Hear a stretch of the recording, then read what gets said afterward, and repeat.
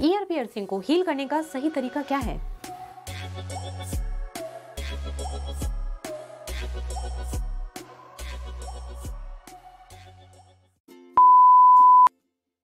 Hey everyone I am Raveena and welcome to my channel so आज के इस video में मैं बात करने वाली हूँ ईयर पियर्सिंग की एंड उसकी हीलिंग प्रोसेस की। कुछ टाइम पहले मैंने ईयर पियर्सिंग करवाया था। और मुझे लगा ईयर पियर्सिंग करवाना ही बहुत बड़ी प्रॉब्लम है। मतलब जो भी पेन होगा, वो बस ईयर पियर्सिंग के टाइम पे होगा। तो ठीक है, मुझे लगा इतना पेन तो मैं टॉलरेट कर सकती हूँ। इंजेक्शन से डर लगता है बट ठीक है, कर लूँगी। और ये भी नहीं, मुझे एक दो करवाना था। मैंने सीधा चार पियर्सिंग करवा ली। दो इस ईयर में एंड टू इस ईयर में। कॉज आई लाइक सिमेट्री तो मैंने कहा, नहीं, दोनों एक जैसे होने चाहिए तो आप एक काम करो, उधर, इधर इधर इधर, सब कर डालो। मुझे लगा, अब तो क्या, ये थोड़े दिन में चेंज कर लूँगी और बड़े अच्छे अच्छे से इयरिंग पहनूँगी? एक या दो दिन के बाद मेरे जो ईयर थे वो बहुत ज़्यादा स्वेल हुए थे। मतलब ये समझ लो कि वो ऐसे पूरे रेड जैसे बंदर के कान होते ना, वो पूरे रेड हो गए थे और मुझे इतना अजीब लग रहा था, बहुत ज़्यादा टाइट और हार्ड एकदम स्टोन की तरह हो गया था मेरा एक ईयर और वो पूरा उसके साइड में मुझे लगा, ये क्या हो गया? मतलब मुझे अब ये निकलवाना पड़ेगा क्या? मतलब इतने रिस्क लेने के बाद, इतना डर को टॉलरेट करने के बाद मैंने करवाया तो अब मुझे ये निकलवा दूँ क्या मैं ये? मुझे ऐसा फील होता है बिल्कुल।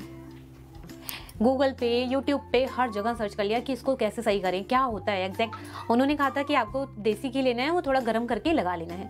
मैंने कहा, ठीक है, लगा लेंगे। उसे भी मैं लगा रही थी, लेकिन फिर भी वो बहुत पेन कर रहा था, बहुत ज़्यादा। और इंटरनेट पे सर्च करने के बाद भी कोई परफेक्ट सॉल्यूशन नहीं था। एक भी ऐसी वीडियो नहीं थी जिसमें सही सही से बता रखा हो कि एग्जैक्ट आपको करना क्या है। मुझे लगा ठीक है मैं अपने ईयर पियर्सिंग को हील करते टाइम मैं वो वीडियो बनाऊँगी। तो this is why I am making this video I know मैंने बहुत ज़्यादा बातें कर ली हैं और अब मैं बोर नहीं करूँगी। So let's get into the video अपनी अंगाली को ऐसे निकाली और लाइक कर दी।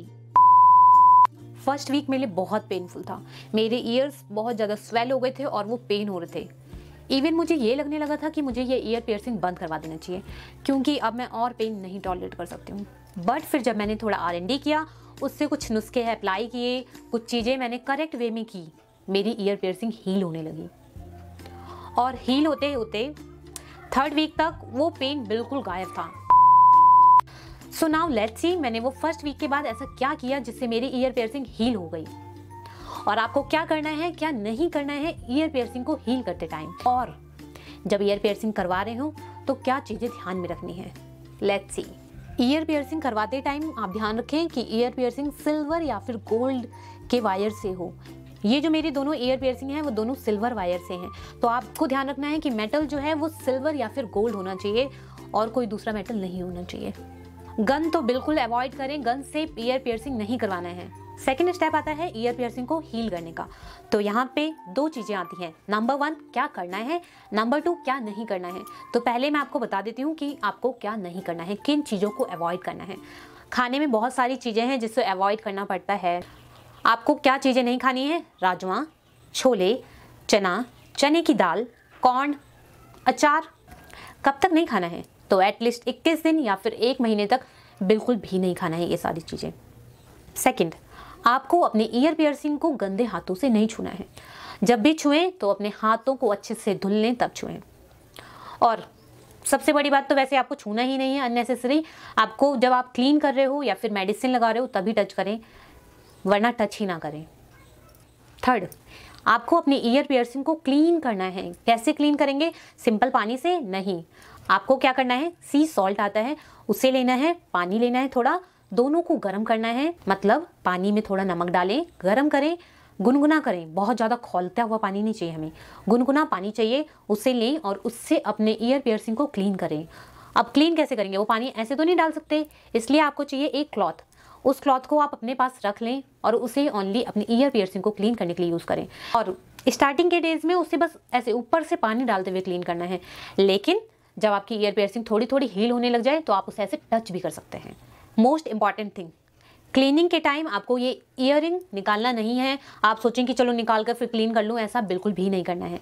जब आपकी ईयर पियर्सिंग क्लीन हो जाए तो आपको लेना है देसी घी। देसी घी को आपको गर्म करना है और लगा लेना है। बट देसी घी की जगह मैं आपको सजेस्ट करूँगी कि ये जो मेडिसिन है बीटाडीन आप उसे लगाएँ। देसी घी जो है, वो मैंने स्टार्टिंग के डेज़ में अप्लाई किया था। बट उससे मुझे कोई भी फ़र्क नहीं दिख रहा था मतलब हील नहीं हो रहे थे। तो मैं यही सजेस्ट करूँगी कि आप बीटाडीन लगाएँ, ये बेस्ट है। एटलीस्ट मेरे केस में तो इसने बहुत अच्छा वर्क किया है। मोस्ट इंपॉर्टेंट थिंग कि सोना कैसे है। मेरे दोनों ईयर्स में पियर्सिंग थी तो मैं ना ही ऐसे सो सकते हैं, एक साइड से, ना ही दूसरे साइड से। बिल्कुल सीधा सोना है। सोते टाइम ये भी ध्यान रखना है कि जो आपका पिलो कवर है, वो एकदम क्लीन होना चाहिए। वो हर तीसरे दिन में आपको अपना पिलो कवर चेंज करना है। उससे भी अच्छा एक ट्रिक बताती हूँ मैं आपको। आप अपना कोई भी पुराना टॉप लें और अपने पिलो पर ऐसे बिछा लें और फिर सोएँ। और जैसे ही तीन दिन हो जाए आप अपना वो टॉप उसे धुल दें और दूसरा टॉप बिछा लें। ये प्रोसेस आपको ऑलमोस्ट ट्वेंटी वन डेज़ तक करना है। इससे क्या होगा कि इन्फेक्शन के चांसेस बहुत ही कम होंगे। आपको प्रॉपर केयर करना है तभी ये ईयर पियर्सिंग हील होंगे। आई होप मैंने आपको बोर नहीं किया है प्लस मैंने आपको प्रॉपर इन्फॉर्मेशन दी है। सो so, अगर आपको ये वीडियो अच्छी लगी हो तो लाइक कर दिया करो यार।